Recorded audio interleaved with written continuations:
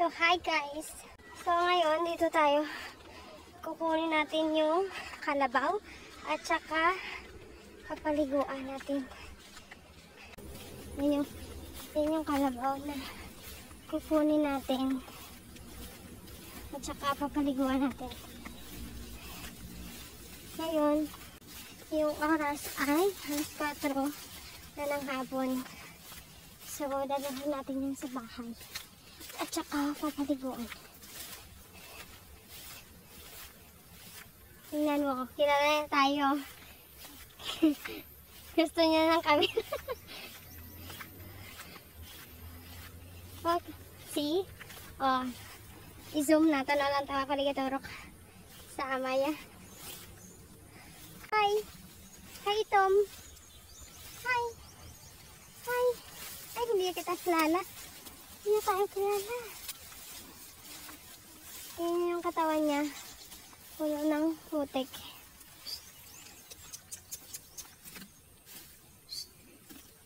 Minsan ka tubog ang karbawa para madura init. Lawasan na. Isa sa dahilan kung bakit nililigo yung kalabaw sa putik or sa turugban na tinatawag dito ay para mabawasan yung init sa katawan nila. Tingnan niyo yung putik ko. Hmm. Ganun din kay Bukay. Bukay! Bukay! Hindi na siya si Bukay ngayon. Siya na si Itom. Half. Bukay. oh, Snobjörn! Snobjörn! Bukay! Bukay! Oh, Snobjörn! Ah, dito pala natin papaliguan akala ko sa bahay. Dito lang para mabawasan yung putik nila sa katawan. Yan.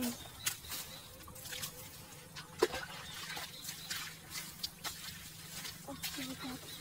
Yeah!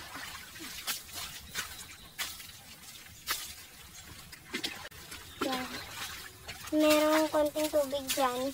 Yung gagamitin na pampaligo sa kanila. Para makuha yung motor sa. Bukay! Bukay!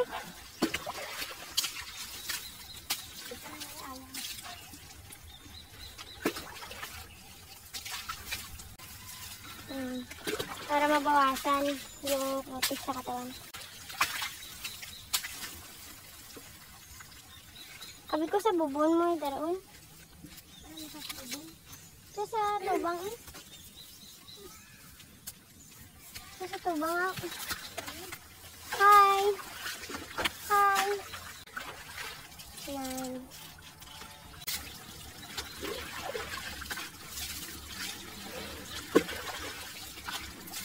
See? Ulo na pagitin. Malapitan natin.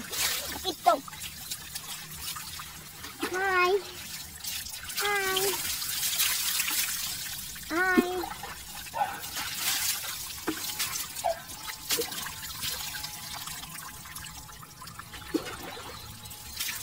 Okay. Kapag naliligo sila, hindi sila umaalis. Diyan lang.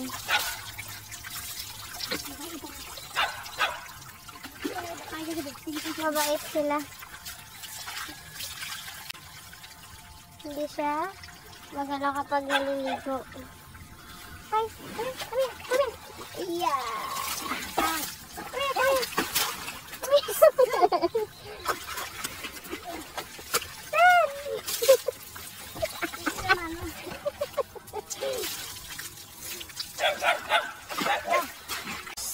Mar! Marimar! Kalaban nila yung mga aso. Kaya kapag may aso,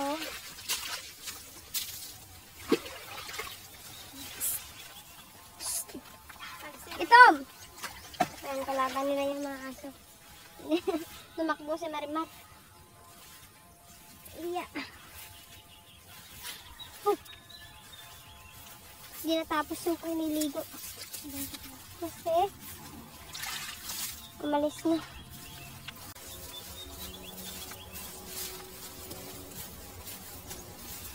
Ayaw niya, ayaw niya ma-expose niya yun. Hawakan natin yung ano niya, yung tali. At saka, lapitan natin. Sila.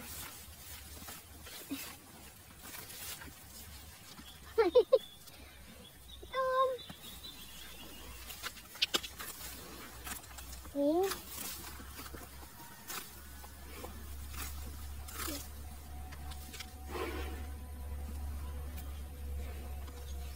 Hindi sila mahirap kontrolin kapag naka, nakawakan mo yung tali. Kapag hihilahin mo ganito, uh, susunod lang yan. susunod lang at at tatakihin ka. eh, ayun. Ah, ako yung hihila.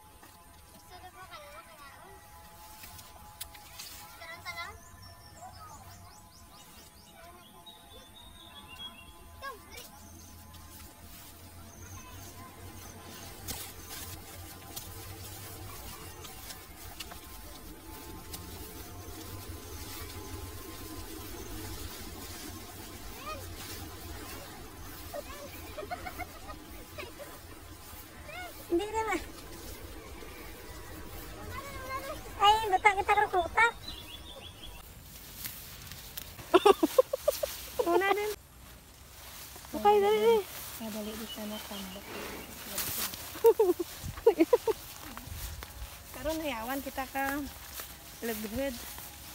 So ngayon, si Iten yung kapatid ko yung humihila kasi hindi ko control yung kalabaw. At hindi ako eksperto sa paghawak ng kalabaw or tali dito. Hi! Hi! Hi! Hi! How are you doing? Mommy! Hey, come here. Oh, ayaw na. Oh, oh. Ayaw na. Oh. Oh.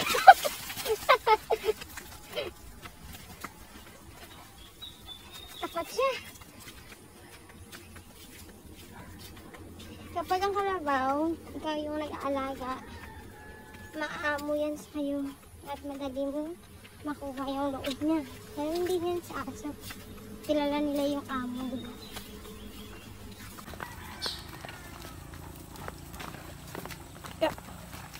Ayun. Pupuntahan natin yung kung saan yan nila tatali.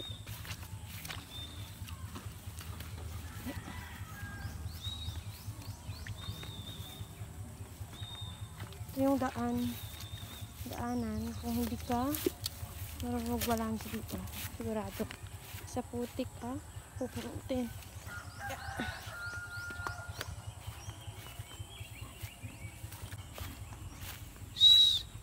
Hindi mo ikaw tayo, Nay.